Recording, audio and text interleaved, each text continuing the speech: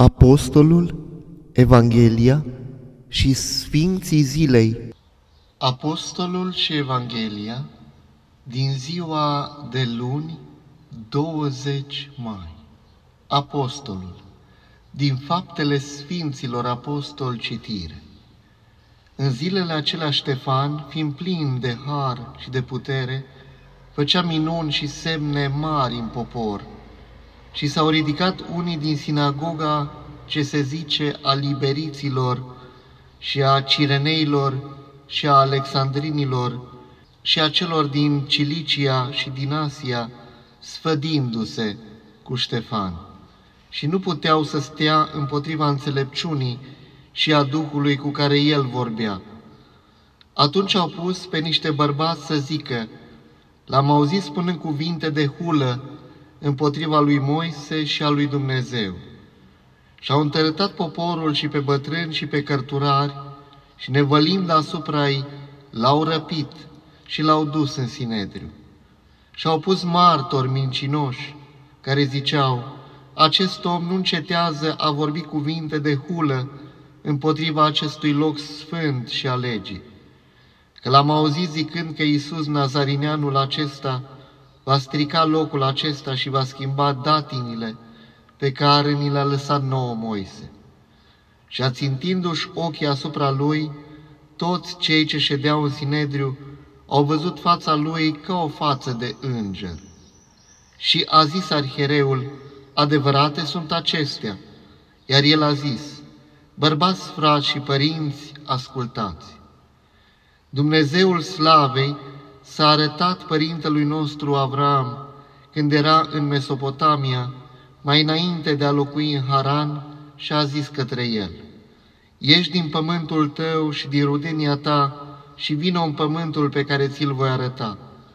Atunci, ieșind din pământul caldeilor, a locuit în Haran, iar de acolo, după moartea tatălui său, l-a strămutat în această țară în care locuiți voi acum și nu i-au dat moștenire în ea nicio palmă de pământ, ci a făgăduit că i-o va da lui spre stăpânire și urmașilor lui după el, neavând el copil.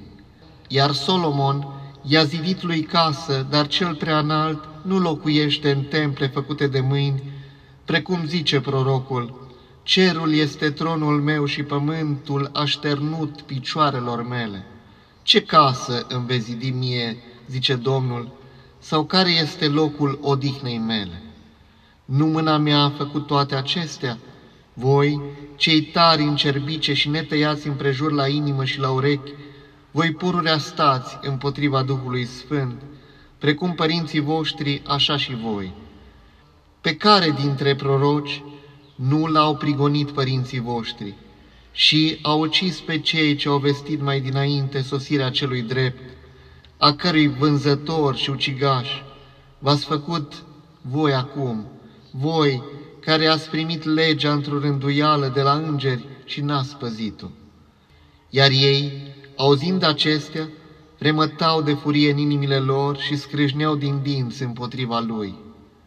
Iar Ștefan, fiind plin de Duh Sfânt și privind la cer, a văzut slava lui Dumnezeu și pe Iisus, stând de-a dreapta lui Dumnezeu și a zis, Iată văd cerurile deschise și pe Fiul omului stând de-a dreapta lui Dumnezeu.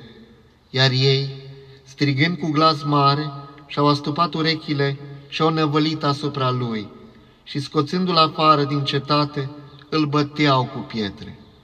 Iar martorii și-au pus hainele la picioarele unui tânăr numit Saul și îl băteau cu pietre pe Ștefan, care se ruga și zicea, Doamne Iisuse, primește Duhul meu. Și îngenunchind, a strigat cu glas mare, Doamne, nu le socoti lor păcatul acesta. Și zicând acestea, a murit, iar Saul se învoise la uciderea lui Ștefan. Sfânta și Dumnezească Evanghelie de luni, în săptămâna a treia după Paști. Citire din Evanghelia de la Ioan. În vremea aceea era în Capernaum un dregător împărătesc, al cărui fiu era bolnav. Acesta, auzind că Isus a venit din Iudeea în Galileea, a mers la el și l-a rugat să se pogoare și să tămăduiască pe fiul lui, căci era pe moarte. Atunci Isus a zis către el, Dacă nu vedeți semne și minuni, nu credeți. Omul împărătesc a răspuns, Doamne, pogoară-te până nu moare fiul meu. Iisus a zis către el, Du-te, fiul tău trăiește. Și omul a crezut în cuvântul pe care i l-a zis Iisus și s-a dus. Și iată, pogorându-se el, l-au întâmpinat slujitorii lui și au spus că fiul lui trăiește. Atunci a întrebat pe slujitori de ceasul în care a fost mai bine, iar ei au spus, ieri, în ceasul al șaptelea, l-au lăsat frigurile. Deci a cunoscut Tatăl că acela a fost ceasul în care a zis Iisus către el, Fiul tău trăiește. Și a crezut el și casa lui întreagă. Această a doua minune a făcut-o Iisus iarăși când a venit din Iudeea în Galileea. Îți mulțumim, Doamne Iisuse Hristoase, pentru că zilnic, prin cuvântul Tău, învățăm că toate minunile pe care le-ai făcut sunt spre slava numelui Tău și a noastră mântuire.